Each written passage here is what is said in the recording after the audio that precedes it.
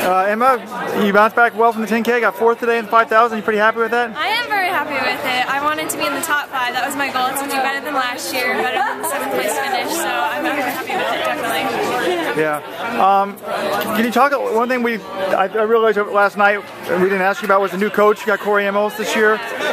Talk about the difference he's been he's made. It's it's made a big difference in my self confidence. Um, the training is about the same, but he has done so much for my mentality and, and staying tough during a race and, and getting to the next level. I think I really got to the next level winning nationals in the 10K and you know even taking fourth. That, that was a big accomplishment today. So he, he has made a huge difference just just in that respect. Um, so and he, he knows my body a little bit more now that you know that we're um, getting into this third season with him and everything. So we're kind of figuring out how I need to train and, and not go too hard and, and, just know my limits and everything. So I think next year will be definitely um, a, a, stellar year.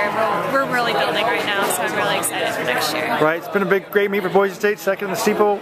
Yes, oh my gosh, Marisa did fantastic. I'm so proud of her. We were thinking maybe third, you know, like she, she was in it, but we, we didn't know if she had that big kick in her, and she, she really pulled it off. I'm really happy with her. Right.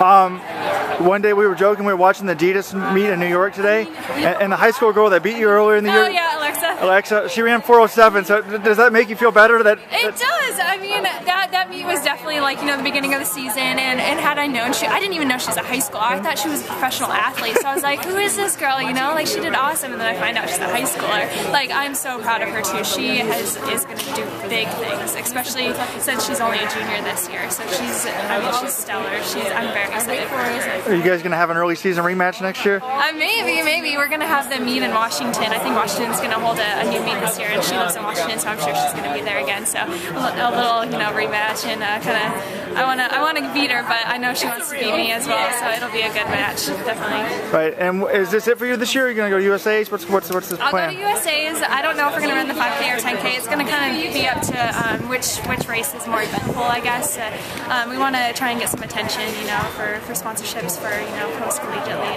everything. So whatever race is going to be exciting, and I, I, think I can do well in both. Um, I haven't ran a very fast uh, open five. We ran Mount Sac this year, and it was it was pretty slow. So I'm excited to, to run a fast one. So we may um, go into the five. I don't right. know yet. Hopefully the NCAA title helps you with the sponsorship. Yeah, definitely. All right. so. Let's see at USA's. Thank